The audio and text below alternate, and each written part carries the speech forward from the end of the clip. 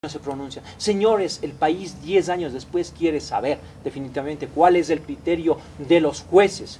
Si los señores Isaías son tan inocentes que vengan y respondan en el país. Y sin embargo, acá 10 años después no pasa absolutamente nada.